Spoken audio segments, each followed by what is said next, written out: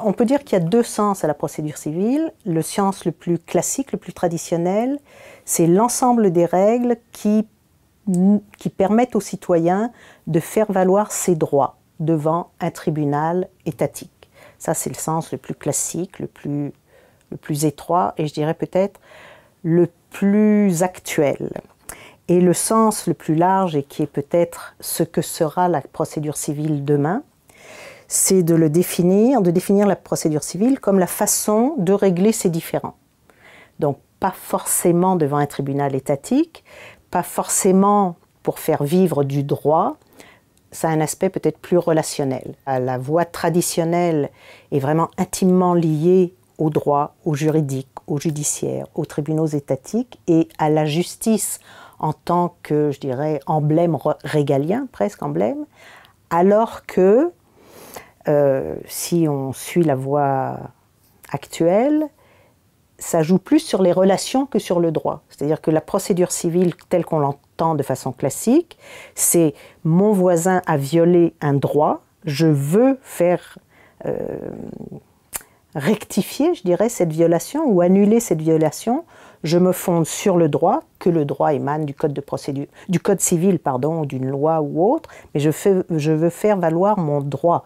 J'ai le droit que mon voisin n'empiète pas sur mon terrain, par exemple. Et là, comme ce sont les juges qui font appliquer le droit, je m'adresse à un juge pour faire reconnaître ce droit-là, donc à partir de règles ou de normes étatiques, le code civil, et c'est le code de procédure civile qui va m'indiquer comment faire pour m'adresser à ce juge. Je peux aussi, si mon voisin empiète sur mon terrain, me dire Bon, le droit me, permet de l'obliger à faire machine arrière, disons, mais on peut aussi dire que, au-delà du fait que je perds sur toute ma bande de terrain un pied de terrain, et aussi le fait que ma relation de voisinage et ma relation humaine de voisinage est un peu entachée par ce problème. Et que finalement, la bande de terrain, c'est pas tellement ça mon problème réel, c'est que j'aimerais pouvoir parler à mon voisin sans que le poil me dresse chaque fois que je le rencontre. Donc là, c'est plus un problème relationnel, qui évidemment est quand même déclenché par la violation d'un droit. Mais je ne cherche pas tant à récupérer ma bande de terrain qu'à récupérer ma bonne relation avec mon voisin. Et ça, c'est la vision plus moderne, on va dire, de la procédure civile.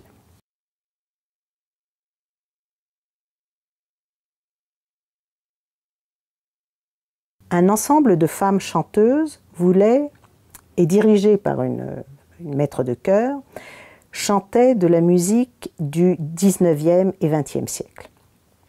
Parce que la chef de chœur n'aimait plus que la musique du 19e et du 20e siècle. Alors c'était un ensemble amateur, il n'y avait pas de contrat, sauf... Non, il n'y avait pas de contrat, c'est vraiment des femmes qui se réunissaient comme elles voulaient, etc.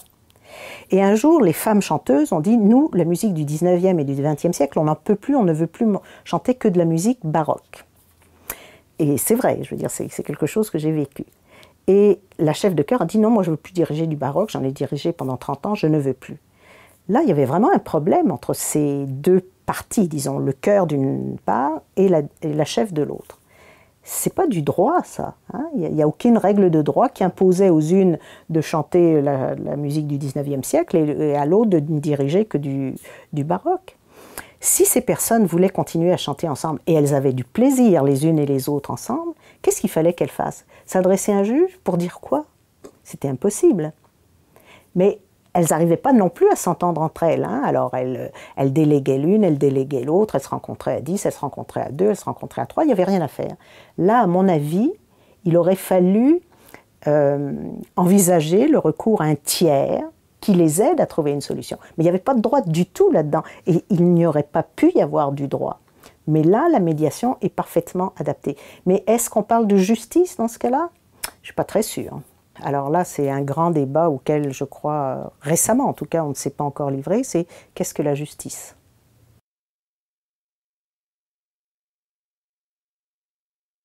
La procédure civile québécoise est quand même la matière du droit au Québec qui est la plus hybride ou la plus mixte.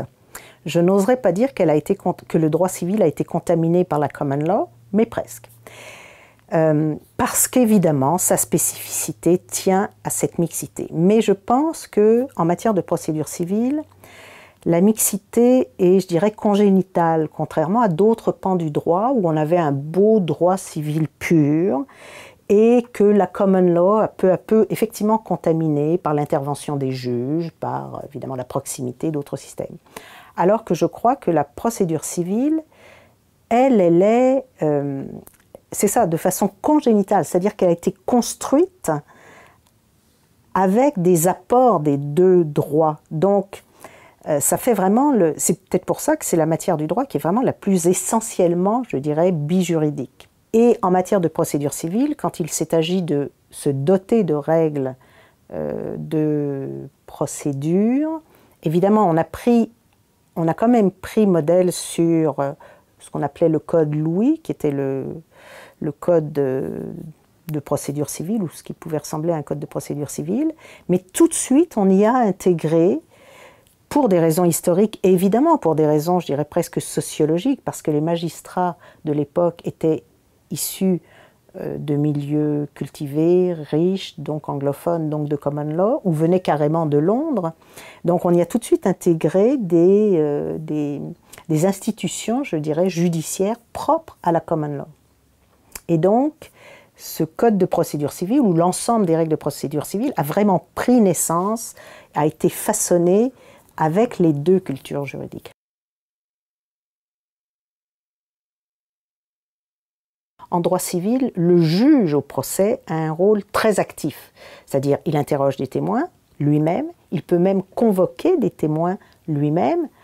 Ici, c'est impensable. Ici, c'est une procédure dite accusatoire où les deux clans sont vraiment deux guerriers opposés, je dirais, qui se battent entre eux avec leurs propres armes. Et c'est eux qui, choisissent leurs armes. Autrement dit, le juge n'a pas à leur dire, regardez, pour me faire la preuve de tel fait, j'aimerais mieux que vous fassiez ça. Non, le juge va ici prendre en considération ce qu'il a entendu ou ce qu'il a lu selon ce qui a été constitué par chacune des parties. Le juge québécois n'est pas là pour chercher la vérité absolue.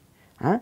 Il va, comme un arbitre sportif, à partir de ce que les parties lui ont fourni, dire bah, moi je préfère cette version ou bien j'adhère plus à cet argument juridique. Si c'est pas tout à fait ce qui s'est passé, tant pis, tant pis. Alors que le juge civiliste français, lui, il cherche la vérité. Et si les parties ont mal fait leur travail ou de façon incomplète pour lui permettre d'atteindre cette vérité, eh ben, il va aller chercher par lui-même.